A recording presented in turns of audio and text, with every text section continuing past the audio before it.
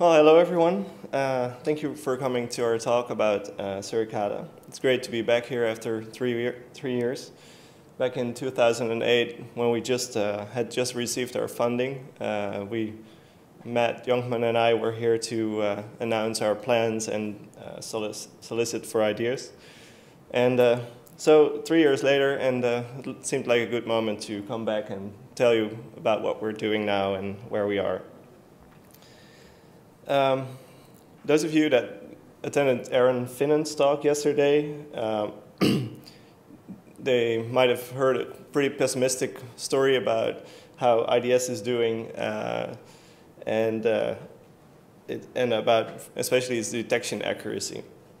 Uh, I'm not quite as pessimistic, although there are definitely some issues, uh, but uh, there is has been a lot of progress. Um, this talk is uh, from Eric Leblond here and myself, Victor Julien. Uh, let me quickly introduce Eric. Eric is a security and open source professional since the end of the 20th century. He has created and has been the lead of the NU firewall, um, an enterprise, uh, a project aimed at creating an, an identity-based enterprise firewall. Eric is a long-term con contributor to, of NetFilter, the packet filtering framework for Linux.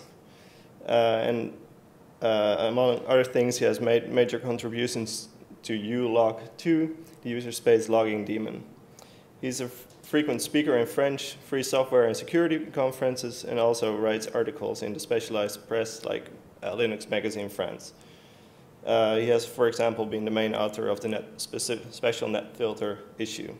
He was also the co-founder of INL Edenwall company where he was a CTO to build enterprise-grade network appliances based on NU firewall. Um, Eric is now a freelance security consultant uh, in free and security software.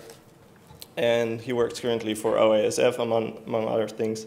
And for OISF, he is the maintainer of the packet acquisition system and our inline and IPS support. A little bit about myself. I'm the lead developer of Suricata. Uh, some people may know my other project, which is Vuurmuur. It's a firewall front end for, uh, for, uh, for, IP tables. Uh, but most people pronounce it as Furmur, which is uh, the, mostly the English-speaking people. I've worked with Snort Inline for years as a developer and uh, also as a contractor I've done lots, lots of work on Snort.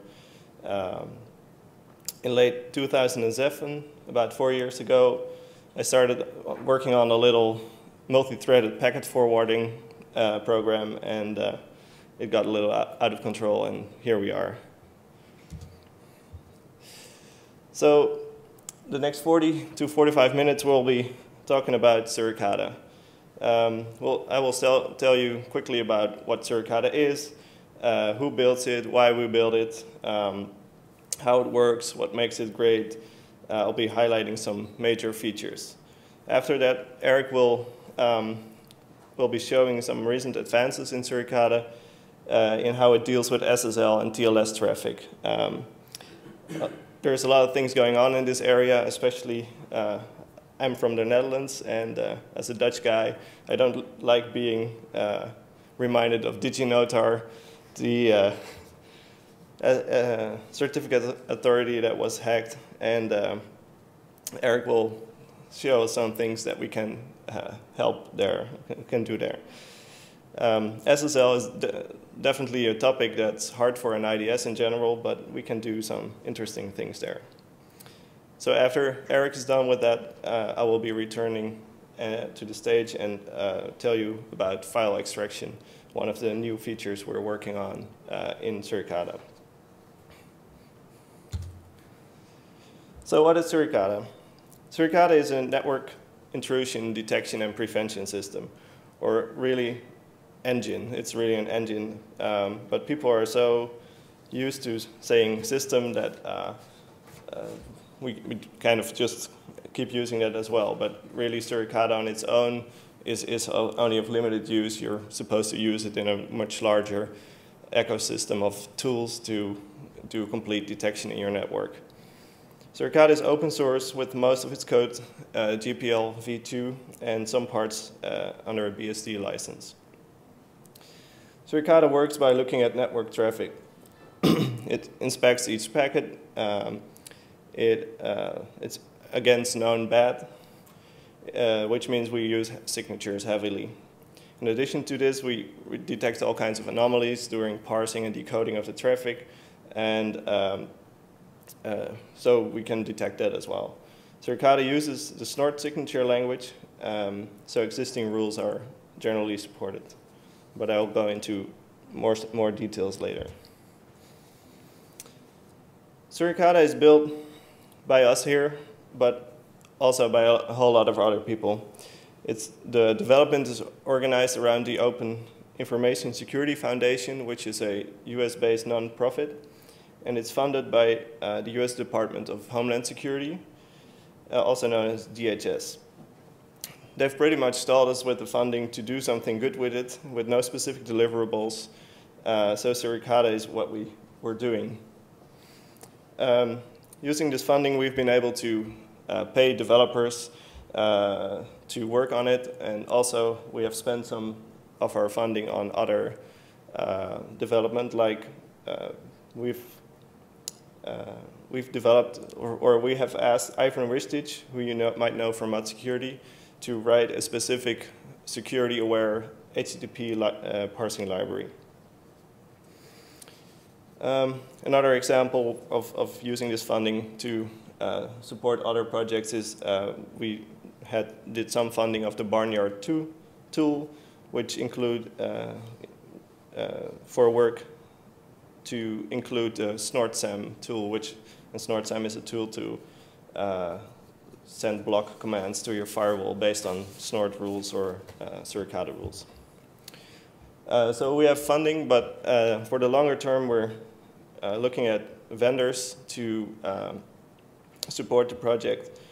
And uh, we formed a consortium where companies that have an interest or a stake in Suricata can uh, can support us. And usually they support it by cash or they support it using uh, or uh, having us access, giving us access to some of their developers to uh, help us build things.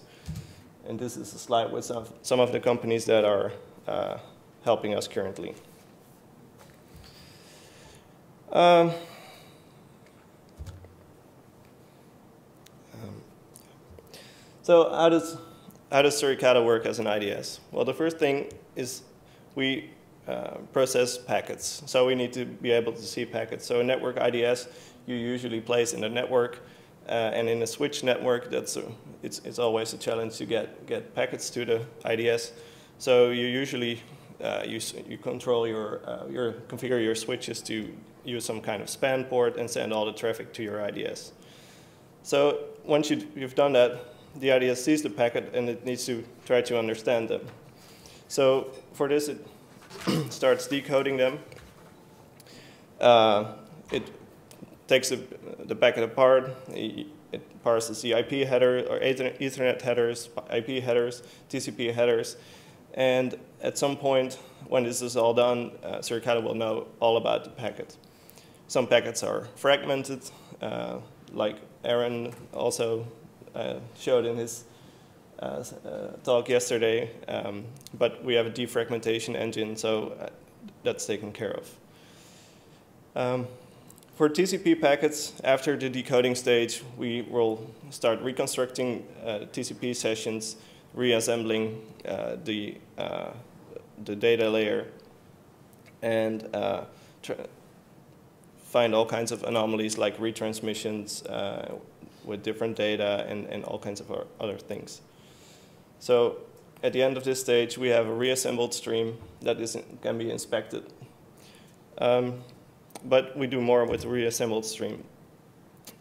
We go to, um, we have a, an, an, advanced HTTP parser and, and, a few other parsers like the TLS parser Eric will be speaking about. And uh, what we do based on the uh, reassembled data is reconstruct the full HTTP session. Um, this is done in a stateful way, so every new, new data just updates the state and we keep a state of the entire HTTP session. So if that's all complete, then we're ready to do detection. And in the detection stage, both or all the packet, the stream, and the state are inspected against the rules. And the rules here are the, the, signatures, as you may know them from, from Snort, but also uh, all our um, all the anomalies we detect during parsing and decoding uh, are exposed to the rule language, so you can uh, um, have rules that do specific matching of uh, on these anomalies. So in the detection, uh, so if the detection finds uh, alerts or um, find rules that match, alerts go to the output stage, which is the final stage. Um, here, an alert is processed by various output plugins. The most simple one is, is uh, a, a snort-like fast log, uh, but we also support Prelude and uh, Unified 2 to support all kinds of other tools that uh, are available.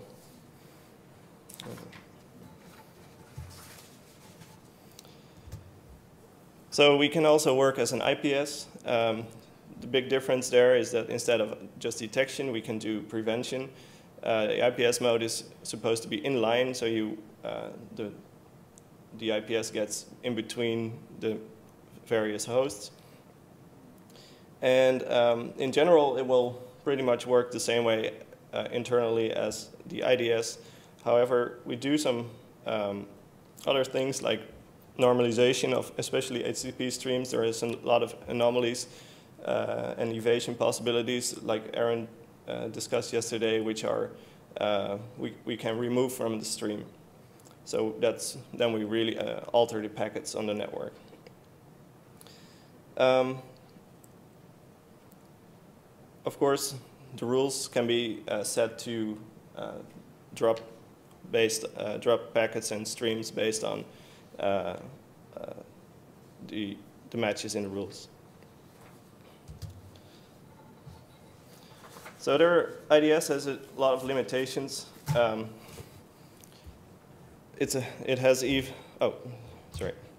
It has even be, been declared dead by Gartner, uh, the researchers, um, but we feel it's far from dead. There are some issues like Aaron uh, discussed yesterday. The first problem we have with IDS is that it's fairly easy to overwhelm it. Uh, usually an IDS is, is sitting on a, a, a, span port in a switch, and usually, the, or in many occasions, this span port is, does not have the full capacity to um, uh, get all the packets on a fully loaded switch to the IDS. So uh, there's the first problem of, of packet loss. Another reason IDS is fairly easy to overwhelm is because IDS operations are quite um, CPU intensive uh, and expensive. Uh, an IDS has to keep an internal representation of about dozens or hundreds or even thousands of hosts uh, and their network activity. So if you, for example, take a 10, 10 gigabit network, you could be talk, talking about about 15 million packets a second that needs to be that need to be compared and parsed, and uh, and you would inspect them, for example, against 10,000 or 15,000 rules. So it's quite easy to see that, that just the number, these numbers will lead you to very heavy hardware requirements, and not everyone has it, so packet loss is always a problem. A different problem is what we call impedance mismatch. This is uh, this issue also is also um, got some attention under the name of AETs or advanced evasion techniques. So what it means is, and it's in part the same thing that Aaron was discussing yesterday, is that there is ambiguities in the network traffic and in the way OSs and programs are handling these ambiguities. And um, the IDS has to make a choice, like how, what, what way to um, uh, interpret traffic. So for example, uh, Aaron discussed differences by, between, between Apache and IIS web servers, or even Apache and, on Windows and Apache on Unix. Uh, but differences like this exist on every layer we're looking at and usually get worse the higher you get. And I have an example here. This is a table I took from uh, Ryan Barnett's Tactical Web Application Security blog, and it shows what the IDS, IPS, or WAF has to deal with. Um, Ryan investigated a simple question, how does a web application respond if it receives multiple parameters, HTTP parameters with the same name but different values? And if, as you can see, the, uh, the result is quite dis dissatisfying. Uh, this is just one list of, of frameworks, web application frameworks, and many, many have all kinds of different ways of interpreting this. And this is what we're seeing all over the place. It's just uh, quite a mess. False positives are an obvious problem in IDS. Uh, we've had problems with, in part due to poor rules uh, or the engines not being able to expose enough uh, specific, specific enough buffers. Uh, an, an, example of a buffer here would be a URI or a, HTTP method or something like that. So if you, if you try to match on something that's not specifically uh, exposed by the IDS engine, you will have to be uh, creative in the rules, and often this leads to false positives. False negatives are obviously an even bigger problem. They can, again, come from bad rules. They can come from engine bugs that do poor or uh, normalization, missing decoding. Um, and of course, packet loss is a major issue for uh, false negatives and other resource starvation issues where you would overwhelm the IDS so it cannot inspect everything is a big issue. So the last thing I want to mention about the limitations is uh, encryption. Obviously, encryption is hard for an IDS because usually you cannot decrypt the packets or the sessions. And with HTTPS and uh, SSH traffic, for example, that's uh, a big problem. There are some um, SSL decryptor options, but um, Suricata at least doesn't do support that directly. So what does Suricata do to deal with this, or also known as major features? Um, well, the first thing is that Suricata will really help you to get the most out of your hardware. So we are using multi-threading, uh, we're supporting out-of-the-box uh, hardware capture cards, and we're experimenting with GPU acceleration. The second thing is Suricata uses automatic, automatic protocol detection for higher level protocols, so, such as HTTPS, and I'll go more into these uh, after this slide. We support large IP blacklists. Uh, there's a lot of information out there in, on the internet on IP addresses, and the IDS is, a, is an interesting place to, to use it. And we have uh, very thorough HTTP inspection and logging, and HTTP is obviously one of the more important protocols. So multi-threading. One of the core ideas was to Suricata was to make it multi-threaded. Uh, the reason is probably pretty obvious. Even your smartphone nowadays usually has a dual core. Your next tablet might have a quad core. Uh, a, a, server with two quad core boxes and hyperthreading, which leads to 16 logical CPUs, uh, are already quite cheap. Uh, Intel has a 10-core Xeon with, with hyperthreading enabled, even it's 20 threads. AMD just announced a 16-core Opteron, and Tilera, which not everyone might know, has a, uh, CPUs with 64 and 100 cores. So using that is, is uh, or trying to really exploit those hard, uh, hardware features is high on our list. So Suricata has a highly modular threading design, which allows us to uh, experiment a lot with all kinds of threading configurations. From a completely single-threaded uh, model, where we just run one single thread, to many hundreds of threads. Uh, there is a paper in which people, uh, people tested Suricata, and they somehow managed to get it, their hands on a box with 576 cores in it. And it worked with Suricata, it just used them all. It, sadly, they didn't really investigate the scaling. They just compared it to Snort, uh, which was an unfair comparison because they just ran one Snort on one core. But uh, it was cool to, just to see that it actually worked. So far, uh, from our experiments, it appears that flow-based load balancing between threads is performing the best. And we can do this with a single packet input, so, such as um, uh, libpcap, um, which then distributes it over all the other threads for, for the processing, or we can use, uh, for example, pfRing, a packet acquisition method, can ex uh, expose multiple readers, um, so we can have load balancing in the kernel instead of uh, in user space. The next version, we're expecting to have the same kind of support for Endace network cards and uh, cards. Uh, talking about um, capture cards, Endace and Napatech are, are the two Endace is already working. Napatech is what we're working on currently to get integrated.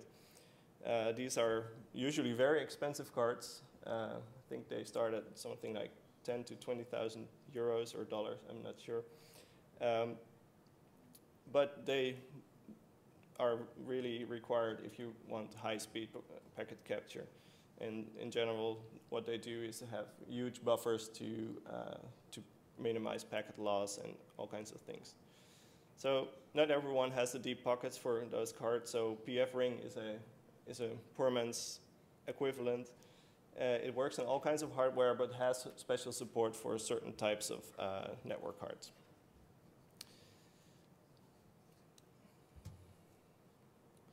GPU acceleration. Um, like I mentioned, we're experimenting with this, uh, it, and we're currently using the CUDA framework for it. Uh, the, the potential of the GPU is very appealing. It's very, very fast in, if you uh, managed to get it uh, operated right. Uh, but it turns out to be a lot harder than we anticipated uh, and hoped. So we have an implementation and it does work. However, it is slower than our CPU implementation, which kind of defeats its purpose. So we're actually in touch with NVIDIA uh, to try and improve things. And um, OpenCL is uh, is, is one of the things we want to be looking at. OpenCL is the, the platform independent CUDA-like uh, uh, API. It's, it is supported by AMD, for example, as well with their ATI cards. And uh, Intel even has some support for it. And just yesterday, Intel announced some, still a little bit vague, but they install, uh, announced some GPU-like hardware that's supposed to be like uh, like the um, GPU, uh, the, the, CUDA. Um, it's, it's, supposed to be working like like with OpenCL or CUDA, I think, and it's it has like 50 cores or more, and but it's still a little bit vague. But there's a lot of movement in this area where you would offload certain types of um, operations to specific hardware. Uh, but programming is it is quite hard.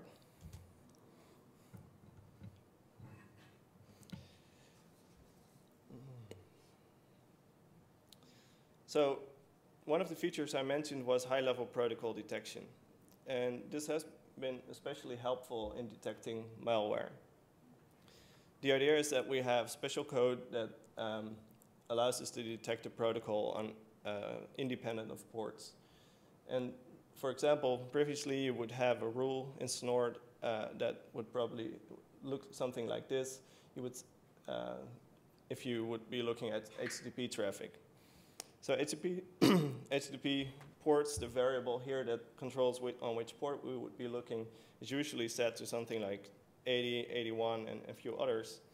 But if you would be out of luck if, if the malware or whatever you're matching against is on a different port. So what we're, uh, we have extended the language to be able to say alert on HTTP, which means we'll be relying on our uh, protocol detection, and then the detection can be on any port. This, this has actually helped, especially malware detection, enormously because a lot of malware uses um, HTTP traffic for command and control and they often use off ports, so the non-standard ports. and we're seeing much, much better detection rates because of this.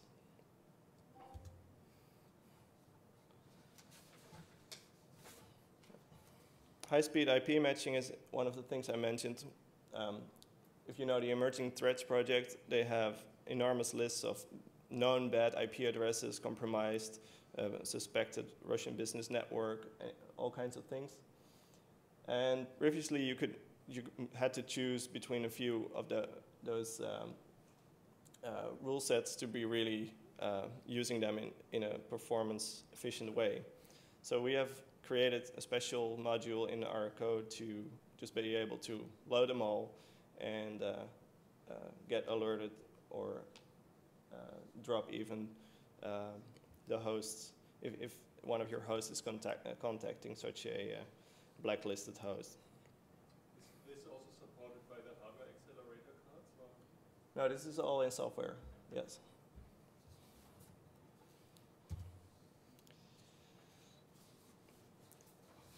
Um, so I, like I already mentioned, our HTTP parsing is um, done with libHTP, the library written by Ivan Ristic, who is uh, the author of Mod Security and currently working on IronBee, another WAF and a web, web application firewall. So because HTTP is so important, we figured we get help from someone that really, really knows what he's doing in HTTP. So this is the library he wrote for us. It uh, constructs a full state uh, of the HTTP session that we constantly update. It can track all transactions, um, and it allows us to do, for example, file extraction, but I'll get into that later. Um, libHTP is available outside of Suricata. It's a GPL licensed library in the older versions, and newer versions are even Apache licensed, so it's even more liberal to integrate into any tool you want. And one of the things we do with it is a simple request logger that, um, for example, should be an example here. Yeah. So the, this is uh, on a single line normally. It's a simple log that's kind of resembling the information uh, an Apache access log, for example, has, and it just shows that for everything. Um, it's quite useful to see what's going on in your network. Eric's next.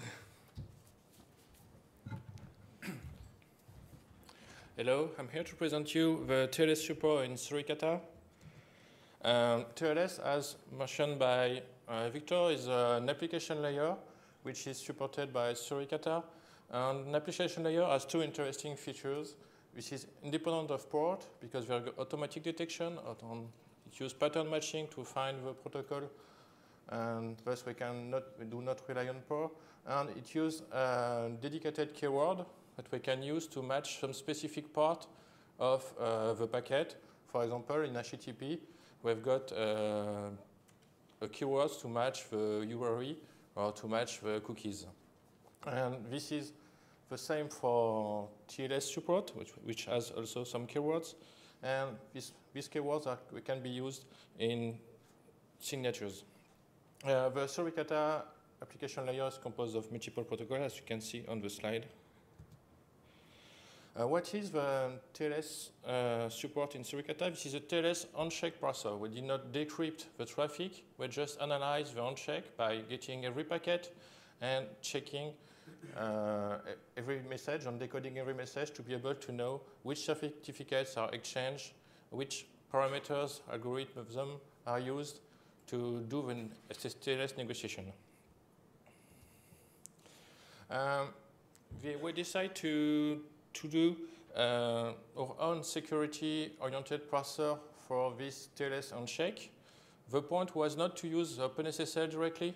OpenSSL is very big, and we want to be able to audit the code and to test it, to be able to hack it, and to be able, to, for example, to to have some event related to anomaly detection. And for that, we need to have our own code. Um, the code has been developed from scratch by Pierre Chifflier, which is working from ANSSI, which is the French Network and Security Agency.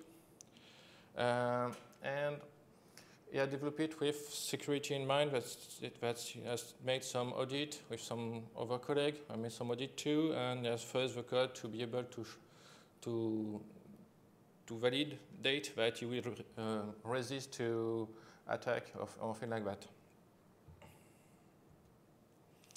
But what can we do with uh, with this uh, TLS support? First thing is the same thing that uh, Victor showed you on HTTP. You can just say alert on TLS instead of saying alert on TCP, which will give you some very advantages because you're not dependent anymore of uh, the IP parameters. You don't specify any port, any the TCP port, for example, and that's why you you just can have more flow study by the parser, and thus you can detect anomaly. For example, if you have a control and command channel which is done on some unusual port, and using TLS, you can detect it, and for example, detect some generic certificate that, that are used uh, that you want to block. And one of the advantages of uh, using this application layer is that you limit the match to the correct protocol. You don't try to, to do some pattern matching or some binary stream. If it's not TLS, you could have a match, for example, if you have a match on something like uh, 5A, like we have in the previous uh, talk about IDS version, uh, you will easily match, but if you check this, for example, on some TLS protocol, having 5A will be very strange. And by doing this, we just run the signatures on the good protocol, which means that you will not try to analyze the traffic on uh, non uh, on all packet, but uh, just on packet with the correct protocol. Doing this, you limit the number of packet analyzed with uh, signatures, and thus you increase the performance of IDS. And as you know, uh, the performance of IDS is really important. Uh, what are the current keywords supported by TLS? We've got TLS version, which matches the TLS version of uh, used in the handshake. We've got the subject, which, do, which is doing a string match on the certificate subject, and we've got TLS issuer DN, which uh, done a, which done a string match on the certificate issuer DN. We've got more to come. This is currently work in progress, and we will describe the evolution. I will describe the evolution later. Uh, what, what can we do with that? For example, let's have a classical uh, settings with a company running some servers and having its own official PKI. If it has its own official PKI, every certificate from on all servers have to be signed with this PKI. If we don't have that, we have something rogue that has been deployed on the network. This is or an administrator that has not put the correct certificate. We should have an alert on this. Or worse, this is a hacker who has put some service, some, um, some service that, that should be stopped. And to do so, it's really easy. We just we just do an alert with a TLS protocol. We do this for any flow in direction to all servers with dollar servers vari variable. And the match is done on if the issuer DN of, um, of the negotiated certificate is not the one we know. That's it. That's, that's mean the certificate that is used for the TLS handshake is not something that has been made by our own certificate authority. This is simple to write. You just have to know your certificate authority and you've got summary security features that is provided by this system. There is other example uh, that can be provided. This one is one of the main motivation behind doing the SSL on TLS support is to detect the mismatch between the certificate provided and the certificate authority who has made the certificate. For example, it is well known that google.com is signed by Google Internet Authority. It is not signed by DigiNotar, sorry for the Dutch. and if we detect this, this is really, really bad. Thus, we can, in IPS mode, for example, make um, a signature which is drop, not alert. Drop will drop the packet. And if any of our clients connect to something that is in the subject google.com, but which is in fact not signed, see the uh, exclamation mark before TLS issuer which is not signed by Google Certificate Authority, then in this case, we drop the packet, we block the connection. But that means you will not be, you will be able to check that your certificates, that your client inside your network will not connect outside to a rogue server serving invalid google.com certificate traditionally used for phishing or things like that. But uh, I've heard, sorry for the Dutch again, uh, that KPN has been hacked too, another certificate authority has been hacked, and thus for, for, for that we can, as we are doing some string matching, we can do it more violently and say, okay, if the issuer DN is something coming from the Netherlands, I want to drop the packet.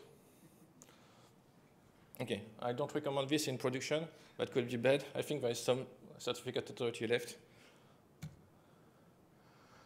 Uh, okay, uh, with, uh, there is some current limitation on the on this TLS support. For example, we just do the match. We just we just are doing the match on the first certificate. We do not. Um, we are not able to do the match on the whole certificate chain because you know you've got so you can have some certificate authority that is a sub-certificate authority. But this is already parsed by the by the backend. What is just missing is the is the keywords and the syntax for the signatures. Thus, you, you should have this very soon available. Uh, the same thing is, is, is true for the, some keywords that are still missing. For example, we can check uh, the cryptographic algorithm which is used to, to do the TLS, to, to use in, the, in TLS. And that, that, is, that can be really useful. For example, you've got the Tor attack by Eric Filiol, which has been discussed uh, lately. And it, uh, it was uh, working by, by downgrading the protocol on some Windows host by using a virus. And by, by doing this, we, can, we, we, could check that the protocol are not being downgraded from what we want, what we expect as security level in the protocol used. And we can do the same with key size, which is related to the security uh, and quality of, um, uh, um, of the cryptography and the Diffie-Hellman parameters. And last, last point in uh, SSL support is do some statistical study. For example, being able to have a hash of certificate that we will detect when it changes. For example, it, it will permit us not to uh, depend on explicit rules like google.com is signed by google.com certificate authority.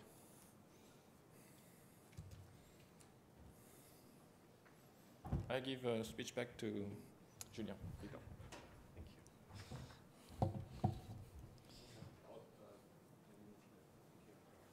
Ten minutes? Okay.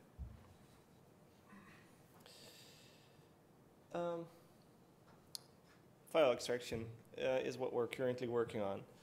Um, it, in my opinion, a very exciting feature, uh, although we have limited to HTTP currently, and we're working on SMTP as well.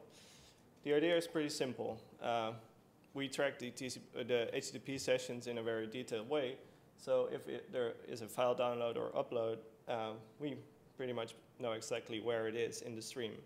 So why not extract it?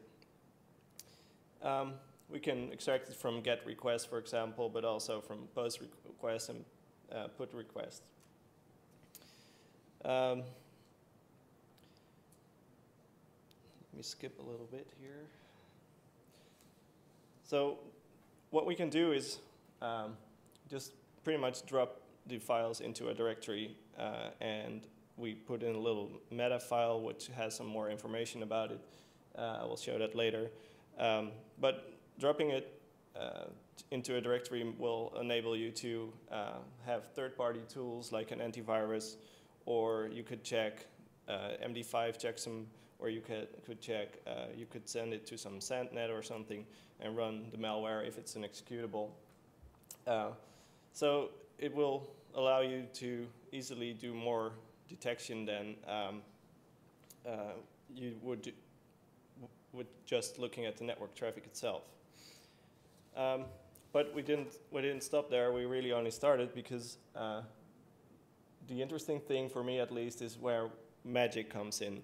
And magic is not real magic, of course, but it's uh, we use libmagic to uh, determine file types. And libmagic, you might all know it, or you might not know that you know. It's what powers the file command in, in Unix or Linux. Uh, it, it is the command that you can use to determine almost any file type uh, and see what it is. Um, to, um, to really get to the power of this, you need, we needed to do uh, rule extensions, rule language extensions, and that's what I'll discuss next. A little bit about Suricata rule language. It's a subset and superset of the Snort language. Uh, we left out all kinds of things nobody uses, no rule set actually uses. And we added some new things like the TLS work and um, like the uh, file extraction things I will be talking about. Well, this is a very simple snort rule. Uh, there has, has, been a few uh, uh, in Eric's examples already, so I'll skip that part. So the rule extensions for file magic, for file extraction. Uh, the first one is file magic. And what it does, it sends uh, the file, or the file is, is uh, interpreted with libmagic, and libmagic will tell us in a string what the type of file is. And for example, it will tell us that a file is an executable for MS Windows. And you could create a rule like this that says, I want to, want to see an alert if we see a Windows download. Um, then the next option is the file store command, uh, for, uh, file store keyword. And it will do nothing for detection, it will only say if the rule actually matches, store the file to disk, and we can inspect it further there uh, outside of Suricata. The third rule keyword is the file X uh, keyword. And it's very simple. It just matches on uh, the extension that is claimed uh, in the request. So you download a file or you upload a file, you give a file name there, um, it might not match the actual file type. And this is what you can see here in the rule. We, we match on a file that has a G, JPG uh, extension, so we expect a JPEG file. But in the file magic, you see with the exclamation mark that the rule matches if it's not actually a J JPG file. And uh, this has very useful uh, uh use cases, I think. Finally, we also added file name, which is just simple a simple file name match. So if you have some kind of naming scheme where uh, uh, everything that is secret has secrets in it in its name, then you could match on it here. So a real example. Say you have a web server and you only accept PDF uploads to it, and your user interface makes sure that normal users will not be sending in PDFs. So if, if you would see an, a file that's not a PDF that's being uploaded, someone is bypassing your user interface and trying something funny. Well, here you can see uh, a, more detailed rule on how we would prevent or alert on that. So we have a rule that is on HTTP. It comes in from the outside world to our web server. Uh, it is to the server a post post request in HTTP, it's to upload.php. And then if the file is not a PDF document, we alert and we store the file for ins further inspection. As an extra check, I also created the same rule, but then not on the file type, but on the file extension. So if the file extension is not PDF, then something is going on as well. Um, another example I think you would want to know if your private keys are being uploaded or downloaded somewhere by accident. So this will match on an RSA private key. You could even leave out the RSA part and it will match on any type of private key if, if you would have one. Um, you could also, of course, store this file, and if it's not yours, uh, you now have it, which can be used for interesting things, but that's uh, that's for you to decide. So one final example here. Um, my girlfriend, she's a, a photographer and an artist, photo, photography artist. And, for, and she has a Canon camera and she uses the RAW format for optimal quality of the files. But she will never, she never wants to send those to anyone. She wants to print, she sends another file type, or if she has a modification of her files in Photoshop, she will never want to send anyone a Photoshop file, but a simpler file, because in photography, the number of prints that are publicly available really determines the price level of your photos. So it's, it's really your secret, secret source files, kind of. So this would be two rules that would drop any outgoing um, uploads for Canon RAW files or for Photoshop images. And I'm still trying to convince her to use GIMP, and if GIMP, for GIMP you would have a similar rule. So the file is stored to disk. It's just dumped in a simple directory um, with a meta file. The meta file looks pretty much like this. You have a timestamp, uh, source IPs, etc., and the file name as it was claimed uh, to, in the request, and the magic, which is in this case an executable for Windows. Uh, and the file size is also interesting. Uh, we have some limitations currently. It's a work in progress code. I, I meant to have it committed to the publicly available Git tree, but um, just failed to do that.